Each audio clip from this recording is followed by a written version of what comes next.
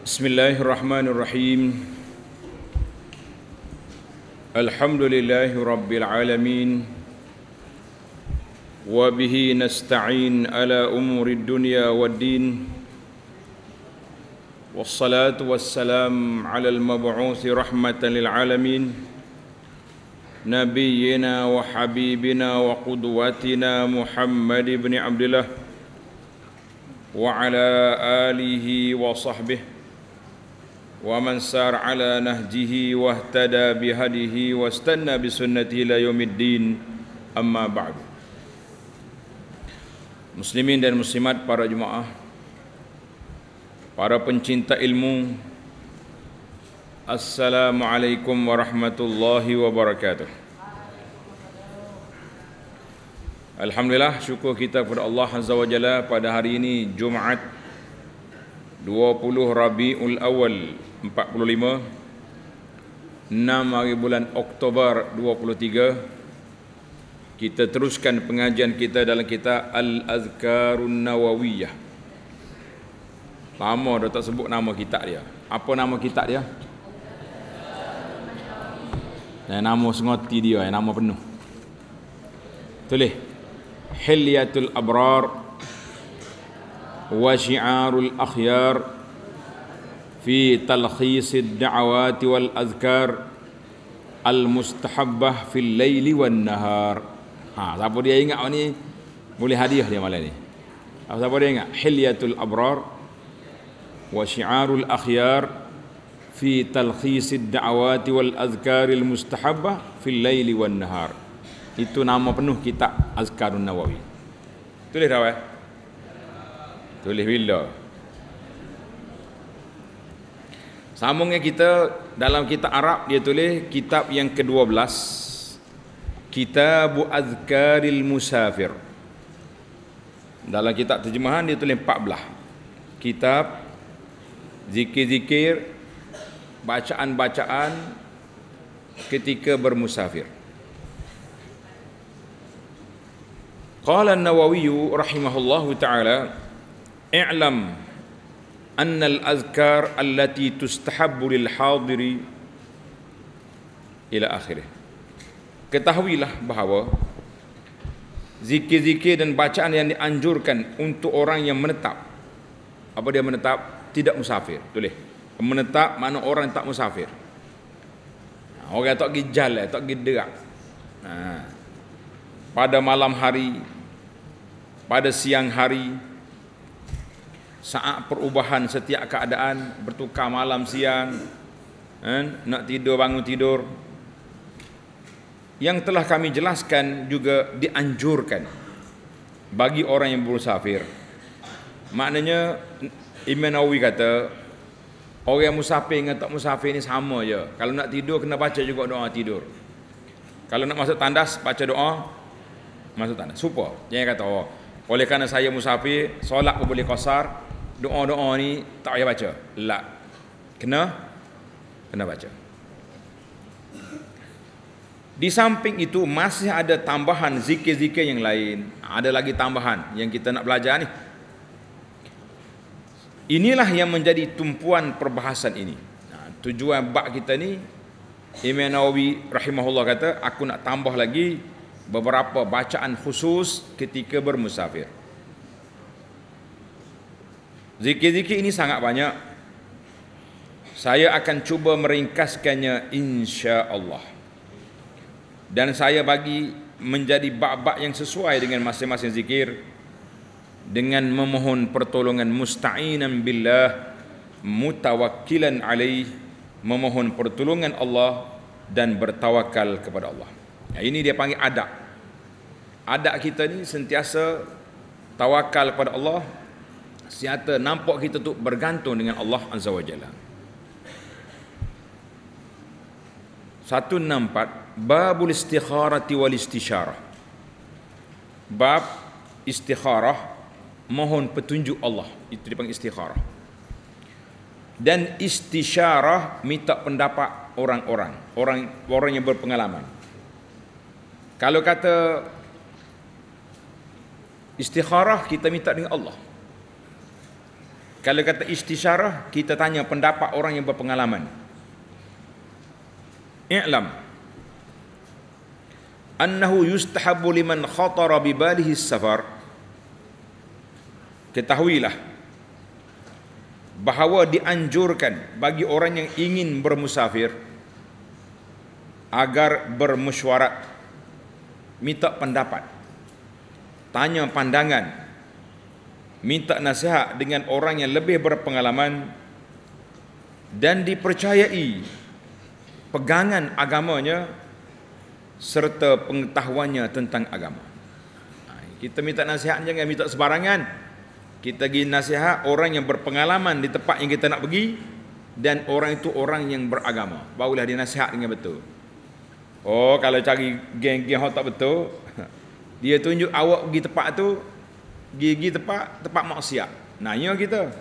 Ha? Jadi kita nak orang yang beragama dia akan tunjuk tempat yang baik, tempat yang bermanfaat, tempat yang berfaedah untuk kita pergi bukan tempat lara bukan tempat yoya kata orang Allah Taala telah berfirman wasyawirhum fil amr dan bermusyawarahlah dengan mereka siapa mereka orang yang berpengalaman dalam urusan itu setiap orang ada pengalaman dia setiap tempat ada pengalaman dia surah Ali Imran ayat 159 kita nak pergi mana? Nak pergi Mekah, tanya orang pandai buat haji. Buat umrah. Nak pergi ke Jepun, tanya orang biasa di sana. Ha, nanti, hai, makan lembu. Lembu kau orang panggil. Lembu tu kau pendek. Tak? Ha, nyanyi kita. Macam mana cara? Makan minumnya, orang, budaya orang kita kena tahu.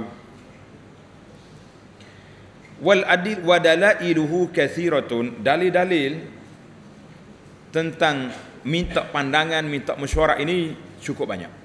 Nawawi kata aku buat satu cukup untuk menjadi dalil. Sebab kita bukan bicara bab mesyuarat.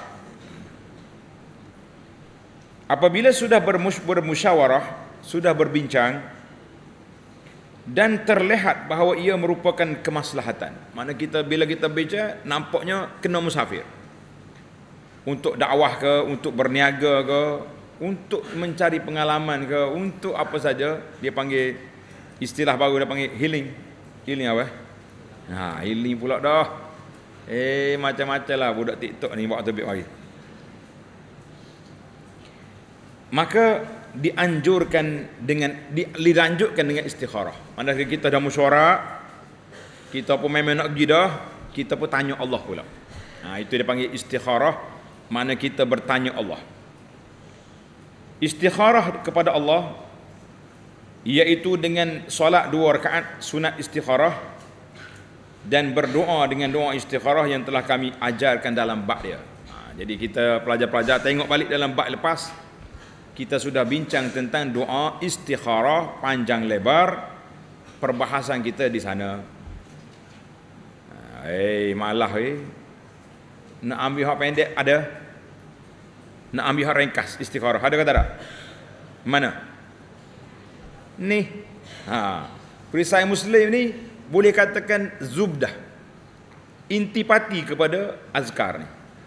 Semua bacaan yang sahih yang warid dia masuk dalam ni. Dua ni tak serupa ni, cuma cetakkan lain-lain. Nanti kita bawa lagi. Ada cetakan. Sekarang ni kitab perisai Muslim ni ada lima di bahasa Melayu saja ada lima cetakan. Masing-masing pencetak nak nak sebarkan ilmu. Termasuk yang satu lagi yang diedit oleh yang dibuat oleh uh, admin kita Ustaz Anas PDF dia panggil. Ha, PDF tahu PDF ni mazhab baru lah ni PDF orang baca dengan telefon dengan komputer tak payah buat kitab ha, salah tak ada bateri pakai senyap kotes situ. Lah.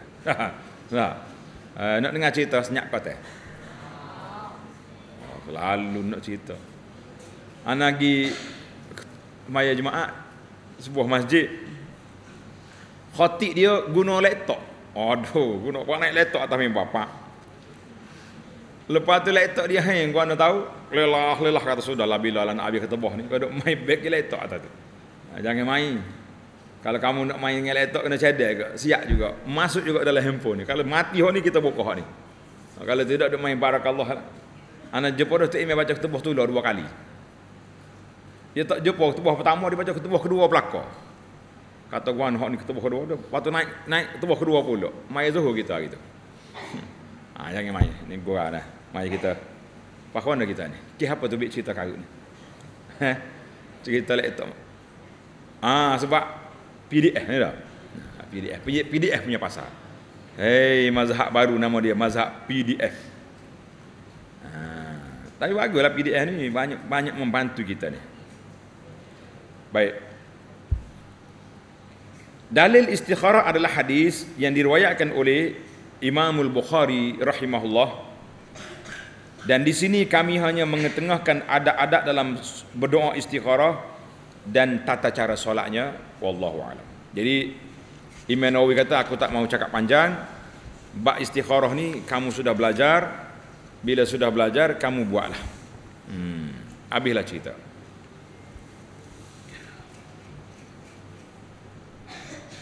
Yang ke 165 ataupun nombor 2 dalam kitab terjemahan Babu azkarihi ba'da istiqrari azmihi ala safar Bab zikir Bacaan amalan setelah tekad nak bermusafir. Ha ni ambil ni. Ambil admin kita kerak sini comel ni. Ada adab musafir ada 12. 12 perkara. Bau kita mudah ingat. Hok baca satu, hok ni adab. Tulis ni pelajar.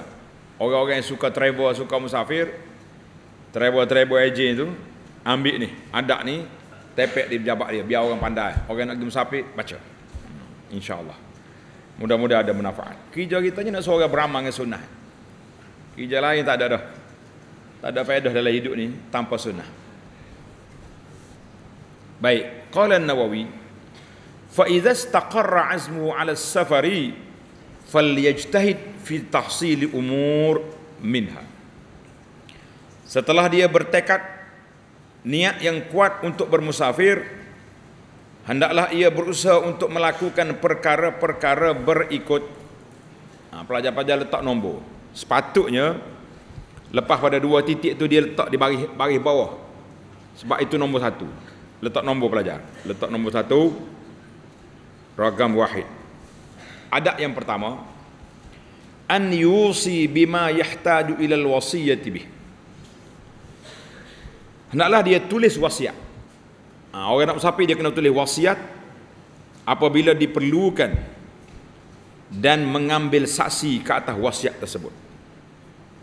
Contohnya, orang ni nak musafir, kita nak musafir, di rumah kita ni ada amanah.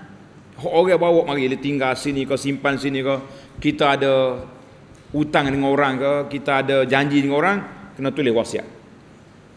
Sekiranya ayah mati, Inna lillah wa inna ilaihi rajiun. Maka anak-anak hendaklah menunaikan. Tulis nombor satu, hutang aku dengan Pak Mak ada 10 ribu. Hutang Pak Loh dengan aku, hutang orang dengan kita pula, ada 20 ribu. Hak ni mau ambil dengan dia pergi buat masjid. Ha, itu itu dia panggil wasiat. Kena tulis. Sunnah tulis wasiat. Ataupun kita ada janji dengan apa-apa kau, kita ada yang penting tulis wasiat dan cari saksi. Saksi itu tak payah lagi pejabat pejabat Suruhanjaya sumpah. Anak-anak kita saksi pun tak apa. Nah, ha, panggil ha, anak-anak tu mari. Ni tengok ni baca wasiat ayah tanda tangan sini.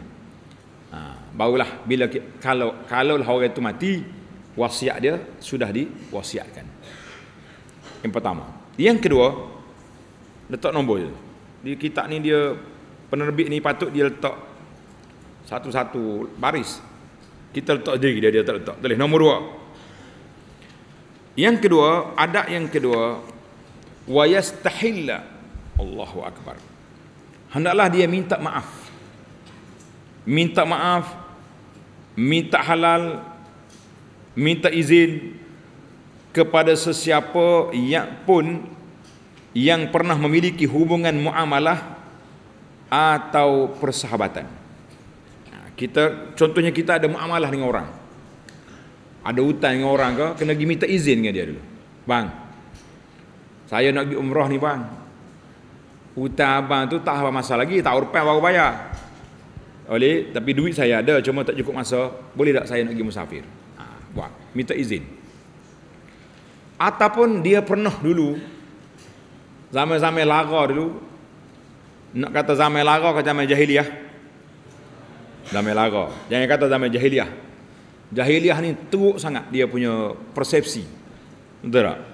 Bunuh orang, bunuh anak-anak lah macam-macam, zina, minum arak. Kita kata zaman lara dulu. Pernah kita ambil para orang. Ha, ingat molen? Mudah makan kepuk orang, Maggi orang tu kena minta izin, minta maaf. Dia minta maaf dengan tu ada, abang. Saya dulu gini-gini kan. Minta halal semualah. Apa-apa yang kita tersalah sepanjang kita bersahabat. Ha, eloklah gitu. Yang ketiga, nombor, nombor tiga. Nombor tiga, meminta wa yastardi walidai meminta keredaan kedua orang tua kalau dia masih hidup ibu bapa kita masih hidup gi dia salah dengan dia cium tangan mak ayah izinkan saya nak musafir nak pergi belajar ke nak pergi berniaga ke nak pergi yang penting kita minta izin dengan mak ayah kita. Minta ataupun guru-guru kita kalau perlu minta izin dengan guru. Saya nak cuti ni ustaz. Saya tak hadir dah kuliah kita ni. Pada masa sekian-sekian minta izin minta halal. Itu di antara ada-ada dan siapa saja yang berhak mendapat kebaktian mana orang-orang yang kita ambil dapat dapat benda baik daripada dia eloknya kita minta keredaan dan kita minta dia doakan kita ha, doakan saya pergi selamat balik insya-Allah. Ha, kena buat lah gitu. Ni dok manusia lo ni dia tak minta izin dah. Pakai pakai hilas senyap gitu. Ha, ha. Eh penat. Penat tak penat eh? Penat wadah gitu. Mana budak ni tak ada. Ada setengah budak ni dia pakai tak minta izin, dia maklum je. Saya nak pergi travel ni. Macam-macam perangai. Tahu kau lah tahu kita. Baik, nombor empat. Nombor empat. Yang keempat, wa yatubu ilallah. Hendaklah dia bertaubat kepada Allah dan memohon ampun dari segala dosa dan kesalahan. Ha, minta bertaubat kepada Allah Taala. Kita minta Allah Taala selamatkan kita, taubat kepada Allah Taala, minta ampun. Yang kelima, yang kelima wal yatlub minallah al-ma'unah memohon pertolongan Allah selama masa kepergiannya selama masa kita berjalan ni kita musafir kita minta Allah Taala bantu kita. Bantu kita. Itu berapa dah kita? Lima dah yang keenam berusaha mempelajari serta menyiapkan apa sahaja yang diperlukan semasa permusafiran. Kalau kita, kita nak musafir apa? Ha? Kita nak musafir ni kategori mana? Nah, maka kita kena tengok. Apabila pergi berperang, kita nak pergi perang, jihad. Maka hendaklah mempelajari apa sahaja yang diperlukan seorang tentera dalam peperangan.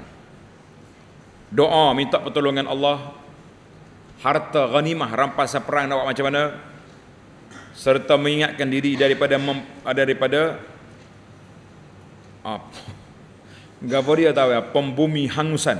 Ha. apa dia pandah ni bijak. Apa dia pembumi hapusan? Eh?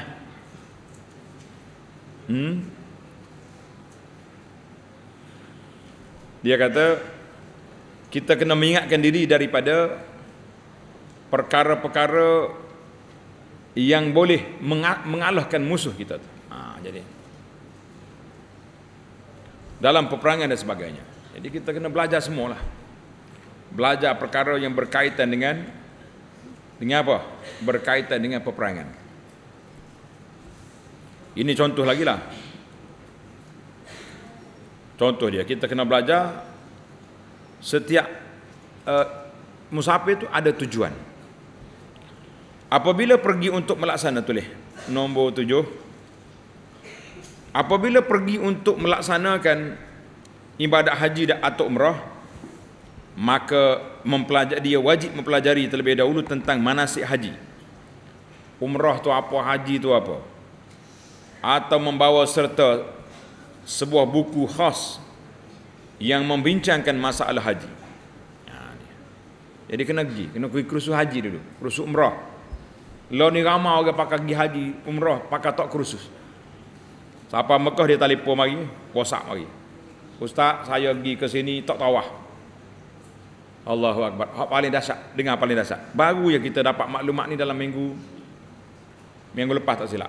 Ada orang tahu WhatsApp dia ni pergi umrah pakai tak tahalu. Tak guting sekali abu. Balik-balik gitu ya. Oh kata banyaklah dosa dia. Dia dalam ihram dia pakai baju. Dia bersetubuh dengan isteri dia dalam ihram. Ah, kita kata panjang hikayat. Sebab tak belajar. Tak mengaji. Apabila di samping mempelajarinya juga membawa buku sebut, lebih baik. Kita belajar, kita bawa kita haji. Lagi comel. Ha, demikian juga orang yang pergi berperang dan lain dianjurkan untuk bawa buku-buku yang diperlukan. Bawa kitab. Bawa buku itu. Jangan duduk apa ni pandai sendiri jangan. Yang kelapan, jika seorang bermusafir untuk berniaga, as-safar at-tijarah. Dia panggil safar at-tijarah. Bisnes. Ha. Maka sebelumnya hendaklah dia mempelajari perkara-perkara yang berkait dengan akad jual beli akan kesahihannya, keabsahan itu mana kesahihan jual beli. Sah ke tak sah? Batal tak batal dia jual beli? Belajar benda halal benda haram, sunnah, makruh, mubah, dan apa saja yang rajah yang kuat pandangan ulama daripada hal-hal lain. Ini kalau nak pergi berniaga, kita kena belajar ilmu berniaga. Nak belajar, nak, nak berniaga, belajar ilmu berniaga. Yang kesembilan, apabila pergi berkelana, berkelana, gapa dia berkelana, eh, bermusafir untuk beribadat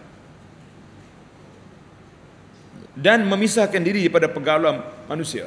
Ah, ha, ni untuk orang orang ibadat dipanggil. Ada ke orang panggil uzlah. Nah, dia panggil keluar fi sabilillah. Dia duduk dia Mekah ni boleh sebola. Nah, duduk Madinah ke? Pergi belajar ilmu pergi Palestin ke contohnya. Maka sebelumnya hendaklah dia mempelajari syariat agama dan ini yang paling penting untuk dicari. Belajar dulu kalau duduk tapo sore dalam gua tak tahu gapo. Dengar ada cerita kita hak minggu lepas kah? Hak cerita dia terpijak tikus, lepas tu dia kata tekak. Nah. Akhirnya tak belajar lah tu. Nak pergi ibadat sore tak belajar. Akhir kali tikus digantung. So kata sah maya dia. Ah, pandar dia. Yang ke-10. Tulis awal 10. Jika seorang bersafir untuk berburu, ha, dia ni peminat memburu hayawan atau menangkap ikan. Maka sebelumnya mesti mempelajari apa sahaja yang diperlukan dalam perburuan. Hayawan apa sahaja yang halal dan haram, apa sahaja yang hak dan haram untuk dilakukan, apa dia syarat-syarat penyembelih hayawan buruan, atau cukup hanya dengan anjing pemburu atau panah dan sebagainya. Eh kita ni kan ada undang-undang. Kalau kita ada panah tak Kita tengok kijang lalu. So kita pun ambil panah kita Bismillah Top lepas. Panah tu siung Kena kau tu. Mati. Boleh makan tak? Boleh makan ha, Sebab kita dah lepas tadi Kita baca Bismillah Tapi dia naknya panah tu mari ikut tajam Syek Ni sini Kalau panah mari gini Tem gini Tak jadi ha, Itu kena belajar ilmu dalam kitab kita dalam kitab fiqh babus said dalam bab perburuan sudah ada. Ha, panjanglah cerita. Ni ni contoh-contoh ini. Mana lagi? Ha. Atau cukup dengan anjing. Anjing perburuan bijak anjing ni. Contohnya Kita tengok arnak mari. Apa dah apalah benda-benda lah. Kicang ke apa. Dah. Kita berlepas anjing. Anjing homo homo latih dia tu. Kita, tapi kita nak lepas dia kita kata bismillah. Hau. Anjing itu su kejap. Mau dia tangkap. Bila dia tangkap hayawan tu dia tak makan. Dia duduk dia duduk nyalok itu. Oh nyalok siapa tu dia mari. Ha, kita boleh makan. Walaupun walaupun mati tak sembelih. Ha. Tapi kalau kita pergi tu habis belah dia bahaya dia anjing. La. Dia tangkap bukan kerana kita kerana kerana dia nak makan. Itu tidak boleh. Kan dalam Quran kata al apa ni mukallibin. Ha, anjing-anjing yang diajar yang dilatih itu dibenarkan dalam perburuan. Sama juga dengan burung sakar. Burung apa dipanggil burung hok burung. Hok arak urat mai hok macuk-mucung gitu. Burung apa? Sakar dia panggil, sakar. Arak beratus ribu harga tu. Oh, arak arak di negara Teluk ni gila-gila main burung. Ya, dia itu dia panggil semua tu ala-ala said. Kena belajar. Ha, baik. Jika seorang tu pergi berternak, ya ke apa dah? 11, sudah sebelah.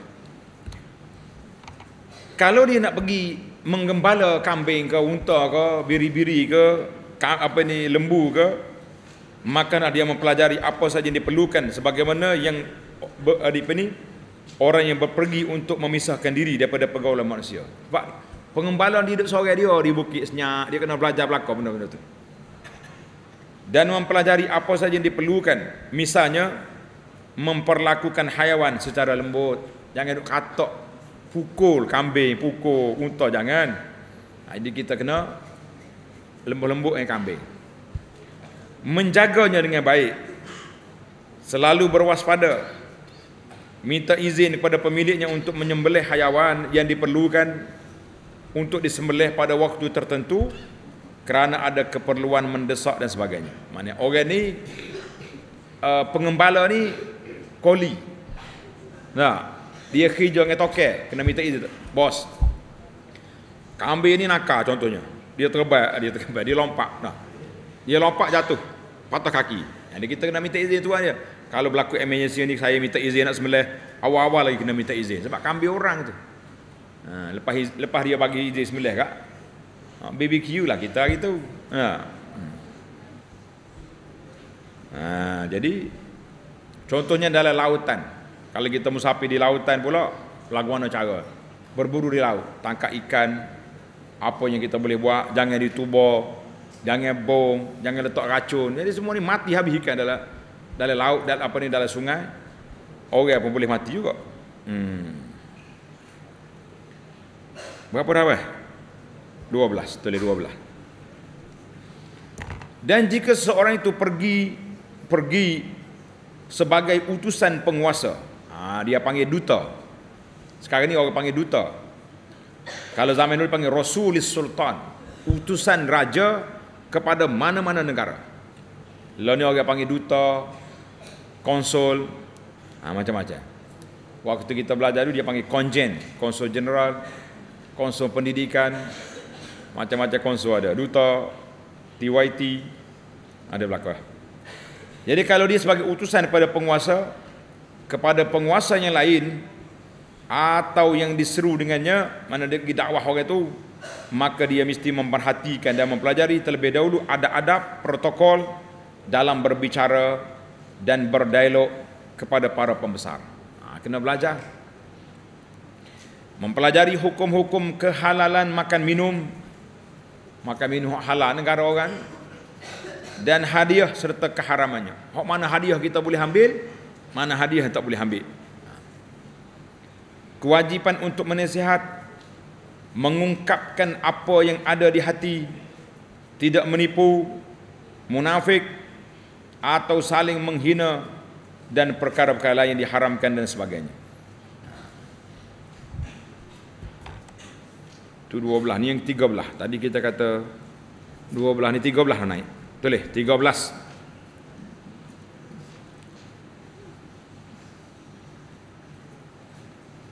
wa in kana wakilan aw amilan. Ah. fi qirat kalaulah dia pergi sebagai perniaga karyawan tu mana peniaga tu lihat anak? Peniaga atau pegawai-pegawai pemasaran atau perusahaan atau sepertinya maka hendaklah dia mempelajari terlebih dahulu apa yang diperlukan daripada perkara-perkara yang boleh dibeli, dijual, digunakan uh, atau apa yang tidak boleh dibeli, dijual atau digunakan dan apa yang harus menggunakan saksi atau tidak perlu menggunakan saksi juga boleh pergi meninggalkan pejabat untuk sementara waktu atau tidak. Yang pentingnya kena belajarlah ada-ada manajemen pengurusan kena belajar. Ha, ni mana pula?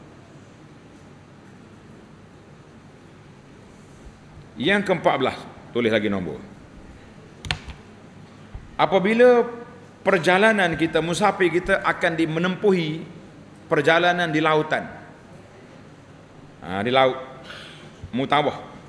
Tok dalam kurungan dan di udara. Sebab zaman Umi Nawawi tak ada kapal terbang. Kita kena tambah sendiri lah ha. dulu laut dengan darat. Zaman kita hari ni laut darat dan udara. Tambah itu. Dan udara maka mesti mempelajari terlebih dahulu tentang keadaan keadaan wilayah yang akan dituju. Mana kalau kita nak pergi jauh kita kena tahu negara kita nak pergi tu apa budaya dia. Adakah dibolehkan menyeberang atau tidak? Ada visa atau ada visa?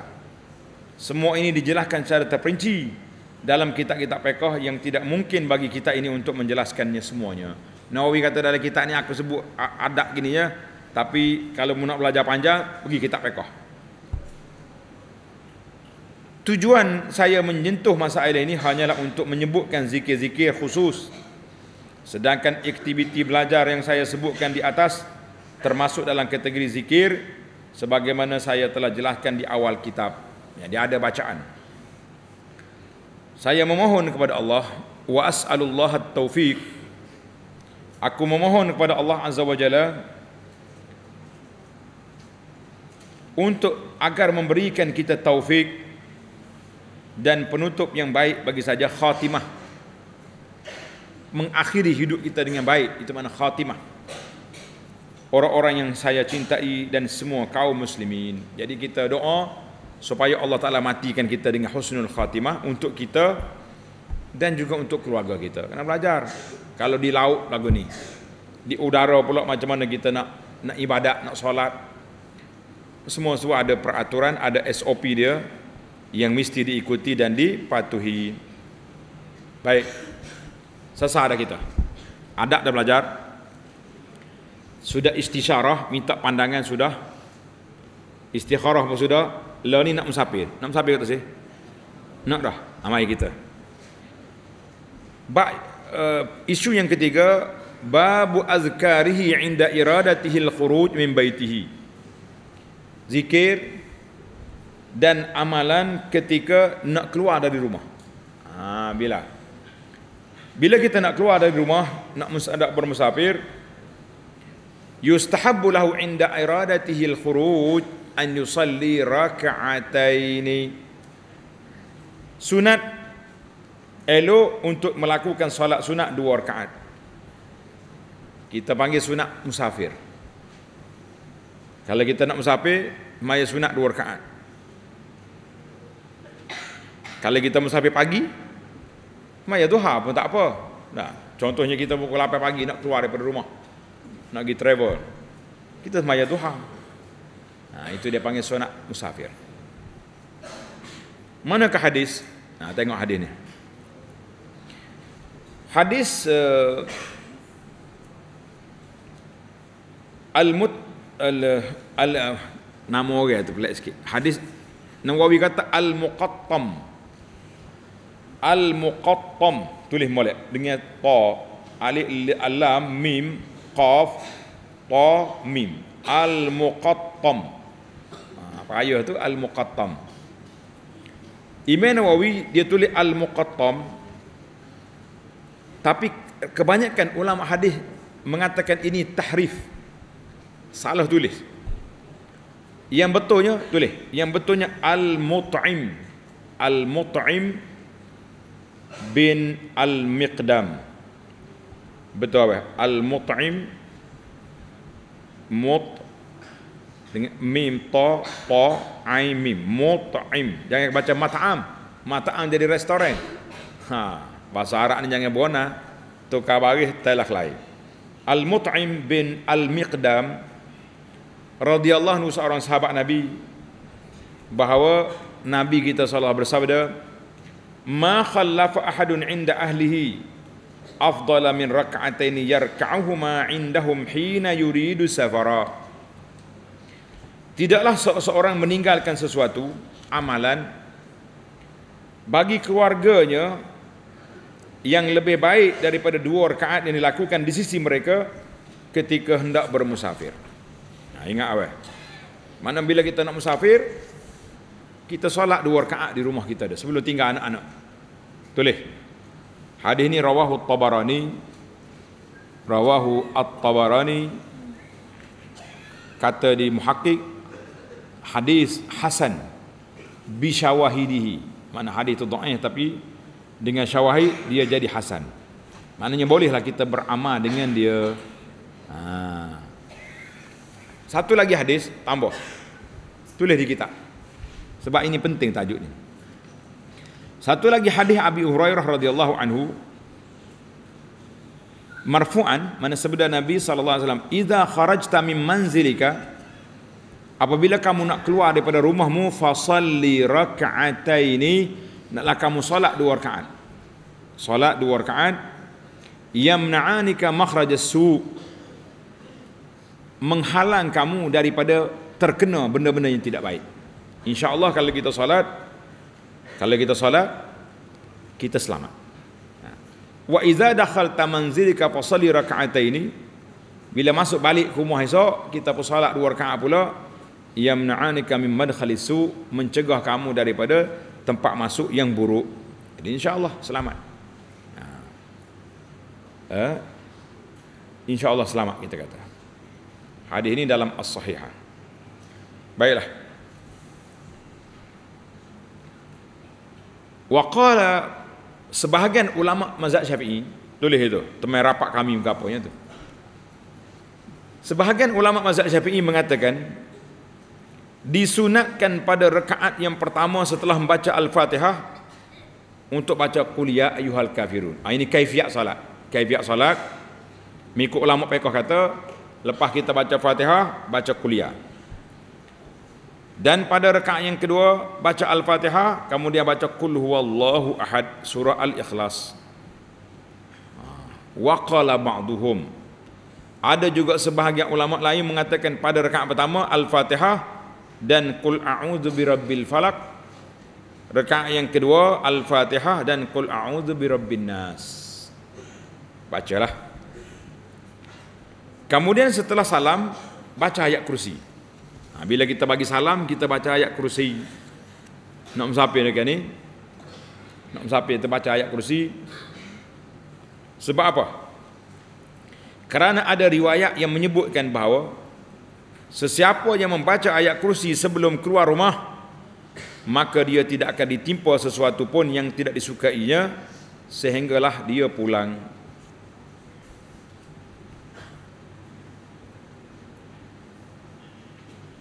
Uh, tulis tepi itu.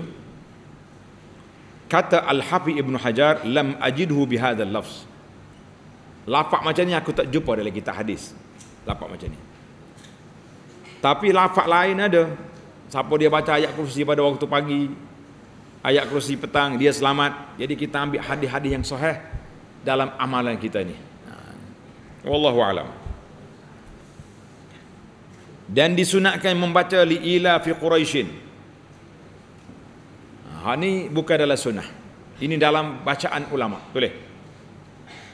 Imam As-Sayyidul Jalil Abdul Hasan Al-Qazwini seorang ahli fiqh mazhab Syafi'i mempemilik berbagai karamah. Mana orang ni orang ahli ahli karamah lah ni.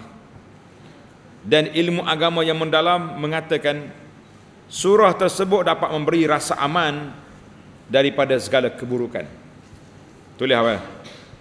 Tulis tepi kita ini ini pengalaman ahli ibadah bukan sunnah. Tak adalah hadis. baca li'ila bi quraisyin sebab li'ila bi quraisyin ni ayat travel dia panggil ayat rehlah ayat travel Abu Tahir bin Jahshawai aha payah nak sebut Jahshawai seorang ahli uh, mengatakan aku ingin bermusafir namun aku rasa takut untuk melakukannya Aku pun pergi bertemu dengan Syekh Al-Qazwi ini untuk tanya doa apa aku nak baca dalam musafir. Sebelum aku berbicara beliau sudah mendahului. Dia kata apa? Siapa yang berniat untuk bermusafir tapi berasa takut daripada musuh Allah atau ke keterasingan, rasa sunyi, rasa terasing kita seorang, hendaklah dia baca surah Quraisy, li'ila fi Quraisyin karena surah tersebut dapat memberikan rasa aman daripada segala keburukan. Kata Abu Tahir, aku membacanya dan tidak ada sesuatu pun yang menghalangku sehingga sekarang. Wallahu a'lam. Tulis anak, ini pengalaman ahli ibadat. Bukan sunnah. Kalau kita nak baca juga sebagai ayat Quran, yutabarraku biha, ambil berkat dengan dia, sempena dengan ayat musafir, tidak jadi masalah. Tapi kalau kita nak bertegas, Siapa dia baca gini, confirm gini-gini, lah. Sebab yang boleh confirm satu-satu pahala, yang boleh confirm mana-mana kelebihan, hanya Nabi SAW. Orang lain boleh cerita pengalaman dia, tapi dia tak boleh nak jazamkan benda tu. Itu kena belajar. Belajar adab, cara berinteraksi dengan doa-doa, zikir-zikir, orang-orang yang soleh. Kita kena faham lah. Apabila selesai daripada bacaan-bacaan ini, semua dah selesai dah, dianjurkan untuk berdoa dengan tulu ikhlas. Jadi bila kita nak musafir, tanda ni pelajar. Bila kita nak musafir, elok kita baca doa ni. Doa ni bukan daripada Nabi, tapi daripada orang soleh. Mari kita belajar doa ni. Allahumma bika asta'in wa alayka atawakkal اللهم ذلل لي صعوبة أمري وسهل علي مشقة سفري وارزقني من الخير. أكثر مما أطلب. واصرف عني كل شر. رب اشرح لي صدري. ويسر لي أمري. اللهم إني أستحفظك. وأستودعك نفسي وديني وأهلي وأقاربي وكلما أنعمت علي وعليهم به من آخرة ودنيا. فاحفظنا أجمعين من كل سوء يا كريم Pandai ke tak? Pandai. Pandai apa baru belajar malam ni. Doa ni walaupun tidak maksud daripada Nabi, tapi makna dia cantik. Tengok kita terbaca terjemahan makna. Ya Allah, hanya kepadamu aku memohon pertolongan dan hanya kepadamu aku bertawakal. Ya Allah, mudahkanlah kesulitan segala pekerjaanku. Ringankanlah kesusahan perjalananku. Berilah aku rezeki lebih banyak daripada yang aku minta. Palingkan aku daripada segala keburukan. Tuhanku, lapangkanlah dadaku. Mudahkanlah urusanku. Ya Allah, sesungguhnya aku mohon penjagaanmu. Ha, kita minta Tuhan jaga kita. Aku menitipkan kepadamu diriku. Mana kita serah Allah Ta'ala jaga kita. Agamaku, keluargaku, kaum kerabatku, dan apa sahaja yang telah engkau berikan sebagai kenikmatan kepadaku dan kepada mereka sama ada urusan akhirat ataupun dunia maka jagalah kami semua daripada segala keburukan wahai Tuhan yang maha mulia ha, comel tak comel doa ha, kena baca lah doa ni tapi jangan bagi tahu ni doa Nabi kita kata doa para ulama yang soleh ha, kena faham gitu Doa ni tak apa apa-apa kita nak doa. Apa kita nak minta kita minta. Jangan kata hak tidak Nabi tak boleh baca. Tak, lain. Kalau kita doa khusus, amal zikir harian dengan pahala-pahala ah, itu mesti maksur daripada Nabi sallallahu alaihi wasallam. Tak boleh reka sendiri. Reka-reka sendiri tidak elok. Baik, kita pergi kepada bacaan yang ke 586. Ha? Ah, ada lagi. Tengok depan tu. Doa dibuka dan ditutup dengan bacaan tahmid dan selawat ke atas Nabi SAW. Apa maksud dia? Kita nak berdoa nanti kita mula dengan alhamdulillah, bismillah, alhamdulillah, wassalatu wassalamu ala rasulillah. Sudah doa? Tutup balik dengan wasallallahu ala nabiyyina Muhammad wa ala ali wa ajma'in walhamdulillahi rabbil alamin itu maksud dia buka dan tutup doa dengan alham tahmid dan selawat. Pandai eh nah, jangan duduk belorak lah doa. Ni kalau kata doa Allahumma fillah mula dengan mukaddimah dulu. Alhamdulillah wassalatu wassalam baru kita doa. Penutup kata macam tu juga. Itu dia panggil SOP doa. Adab. Kata Nawawi rahimahullah, Marwina an Anasin radhiyallahu anhu.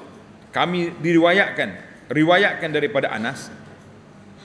Riwayat daripada Anas dan diriwayatkan bahawa Nabi kita tidak pernah membatalkan musafir kecuali ketika bangun dari duduk. Okay? Apa dia musafir-musafir ni? Nabi kita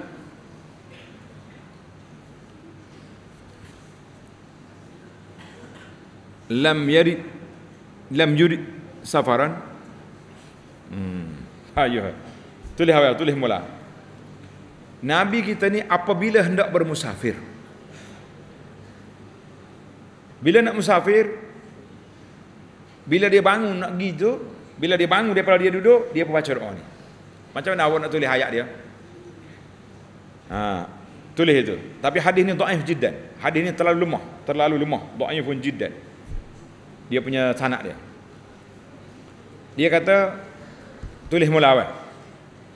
Nabi dikatakan Nabi sallallahu tidak pernah mana-mana perjalanan dia bila musafir apabila dia bangun daripada duduk dia tu dia bangun nak pergi nak pergi musafir dia baca doa ni tapi hadis ni dhaif pun jiddan Ha, baca dulu. Allahumma ilaika tawajjahtu وبك اعتصمت. اللهم اكفني ما هو همني. اللهم اكفني ما همني. وما لا اهتم له. اللهم زودني التقوى. واغفر لي ذنبي. ووجهني للخير أينما توجهت Ya Allah, kepadamu aku menuju dan kepadamu aku memohon perlindungan. Ya Allah, cukupkanlah aku daripada apa yang meresahkanku dan daripada apa yang tidak aku perhatikan. Ya Allah, berikanlah bekalilah aku dengan ketakwaan ampunilah dosaku arahkan aku kepada kebaikan di mana saja aku tuju. Maknanya mana kita pergi suruh tuju tapi tulis. Tulis hadis ini sanak dia dhaifun jiddan terlalu lemah. Terlalu terlalu lemah. Hmm. jadi bila terjalan terlalu lemah kita pun break sekat itulah dulu. Nah. Ha, sebab masa kita sudah. Insya-Allah kita akan sambung dalam siri yang akan datang babu azkari iza kharajas lis safar. Oh, tadi kita keluar rumah. Tulis tadi, doa tadi baru keluar rumah. Bila kita dah mula musafir, apa ke doa yang diajar oleh Nabi sallallahu alaihi wasallam? Tunggu dalam siri akan datang insya-Allah. Subhanakallahumma wa bihamdika la ilaha illa anta astaghfiruka wa atubu ilaik. Wa sallallahu ala nabiyyina Muhammad wa ala alihi wa sahbihi ajma'in walhamdulillahi rabbil alamin.